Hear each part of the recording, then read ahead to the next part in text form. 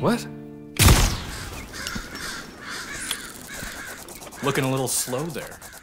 But got your ass. Oh, that was baby. bullshit. You, didn't You get a saw shot the gun fly out of my head. And why am I being punished for being first? Like, who the fuck made this game? When it comes to 3D animations, getting a character to hold something isn't difficult. But when they have to pick it up, switch hands, set it down, toss it to someone else, things start to get a little complicated. If you want to do this with Vanilla Blender, here's what you have to do.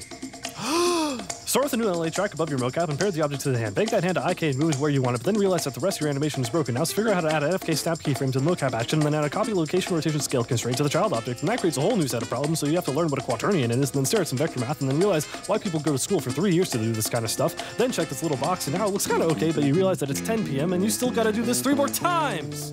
But with Quickdraw, it doesn't matter that you're a clumsy oaf. Getting characters to hold things, grab things, and lean on things happens with just a few clicks. Quickdraw also lets us do things that would otherwise be impractical to animate. Like convincing one of your friends to pay back the money you let them borrow. Thanks for watching. We really enjoy making this series, and we can't wait to see you guys soon. Look, it's like I'm using the force. Oh, oh, wait, wait, wait, wait, wait, wait, wait, oh!